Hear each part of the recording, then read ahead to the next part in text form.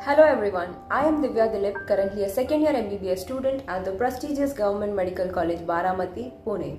So in today's video, I'll be sharing with you my experience of how we observe the National Suicide Prevention Week in our college. So every year, 10th of September is observed as the World Suicide Prevention Day, followed by which a week is observed as the National Suicide Prevention Week. According to WHO, around 7 lakh people take their life by committing suicide around the world in a year. So, the goal of this day is to raise awareness among the people about suicide prevention.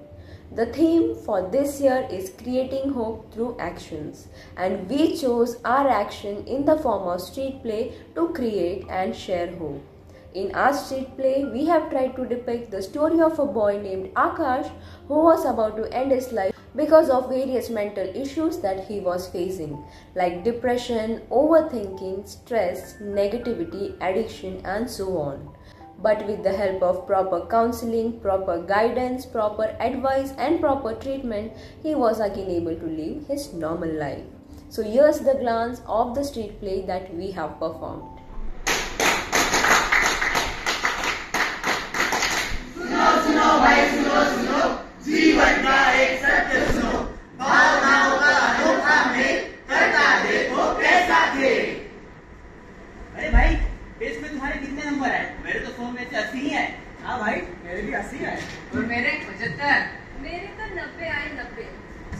चलो मिलते हैं मुझे पढ़ना है।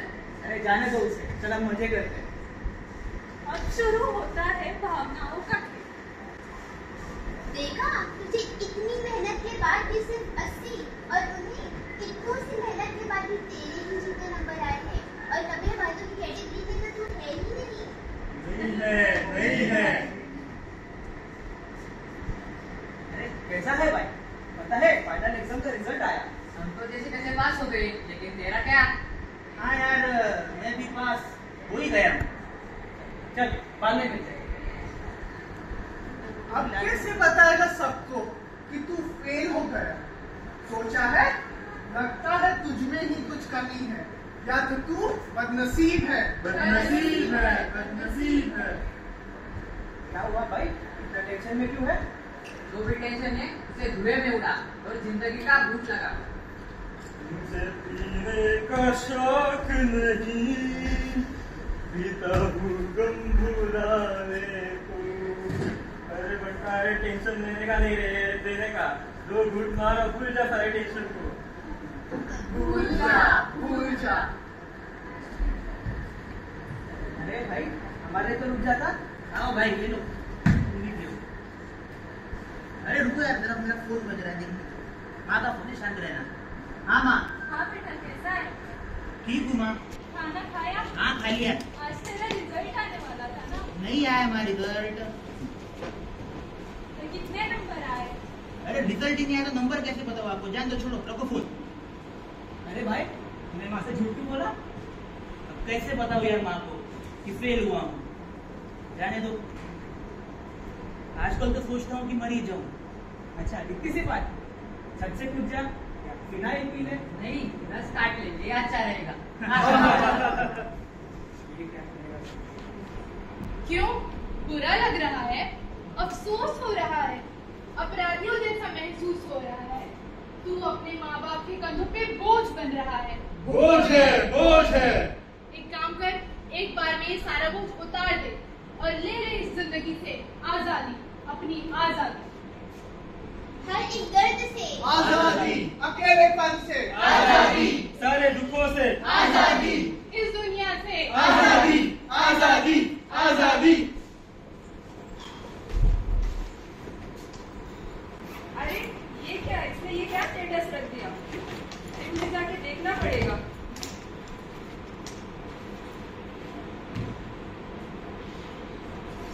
ये तो क्या करने जा रहा था तूने अपने परिवार के बारे में सोचा अच्छा हुआ तेरा जो स्टेटस देख लिया और मैं आ गई चल तुझे काउंसलर की ज़रूरत है नहीं काउंसिलर नहीं मैं पागल थोड़े ही हूँ ऐसा थोड़ी है कि सिर्फ़ पागल लोग काउंसलर के पास जाते हैं और ये सब क्या हाल बना रखा है छोड़ ये सब और चल मेरे साथ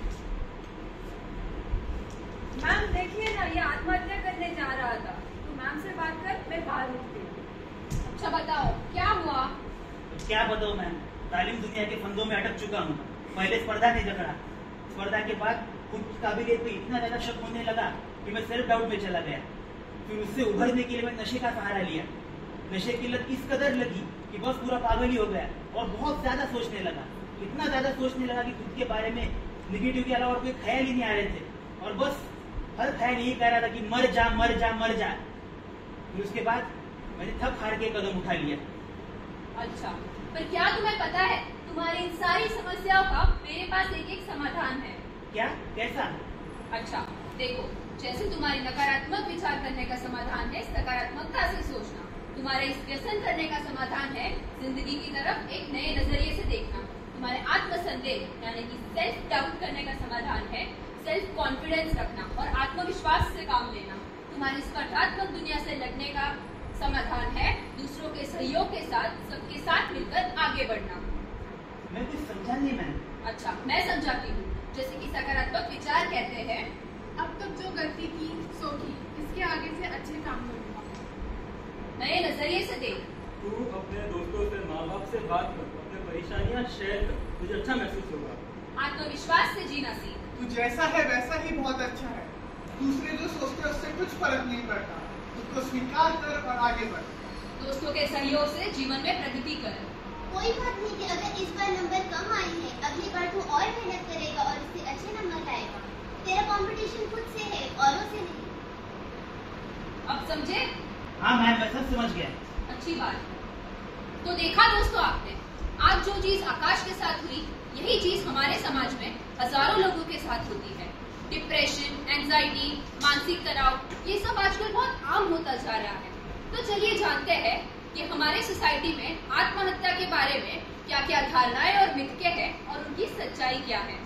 जो आत्महत्या की बात करता है वो कभी आत्महत्या नहीं करता। ऐसा नहीं है। 80 परसेंट चांस में ये देखा गया है कि जो आत्महत्या की बात करता है वो आत्महत्या ही करता है। आत्महत्या बिना किसी चेतावनी की होती है। ऐसा बिल्कुल नहीं है। जो भी व्यक्ति आत्महत्या की कोशिश करता है वो कुछ विशेष लक्षण ज़रूर दिखाता है। विशेष लक्षण जैसे कि चिड़चिड़ापन दोस्त और परिवार से दूरी बनाए रखना नशे की लत लगाना किसी से बात न करना इत्यादि। आत्महत्या की इच्छा करने वाला मरने की ठान ही लेता है। ऐसा नहीं है। जो आत्महत्या की इच्छा करता है मौत और जीवन में चुन नहीं पाता। आत्महत्या की कोशिश करने वाला हमेशा ही खुद को मारने की ताक में रहता है। ऐसा नहीं है। आत्महत्या की कोशिश करने वाला एक डेफिनेट समय तक ही आत्महत्या के बारे में सोचता है। आत्महत्या करने वाला एक मानसिक रोगी ही होता है। नहीं ऐसा नहीं होता। आत्महत्या की कोशिश करने वाला इंसान दुखी ज़रूर होता है पर यह ज़रूरी नहीं कि वो मानसिक रोगी ही हो। उसे परिवार दोस्त और काउंसिलर की मदद से सुधारा जा सकता है। और अगर ये भी ना हो तो उसे दवाइयों की मदद से। और ईसीटी यानी कि इलेक्ट्रो कन्वल्सिव थेरेपी की मदद से सुधारा जा सकता है और उसके जीवन को एक नया रूप दिया जा सकता है तो चलिए दोस्तों, हम अपने समाज के प्रति अपनी ज़िम्मेदारी निभाएँ और इस समाज को आत्महत्या मुक्त बनाएँ धन्यवाद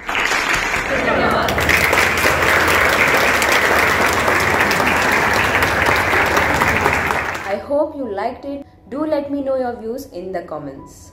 Personally, for me, performing in the street play was completely an amazing experience because it was for the very first time I have taken part in something like this, and we received a lot of appreciation from our respected dean sir, professors, teachers, and we got a chance to perform it five times.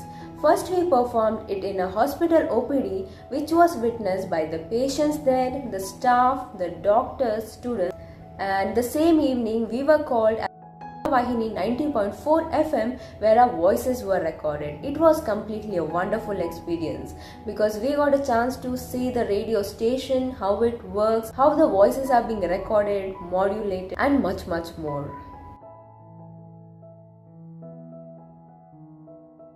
Uh, the next day, we got a chance to perform it in two different colleges. One was the TC College, and the other was the VP College in Baramati itself. And finally, we performed it in front of our juniors who were having their foundation course.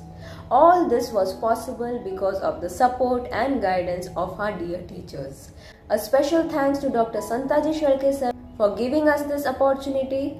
Bhagye sir for the constant support throughout the practice sessions. And yes, thank you sir for the wonderful treat.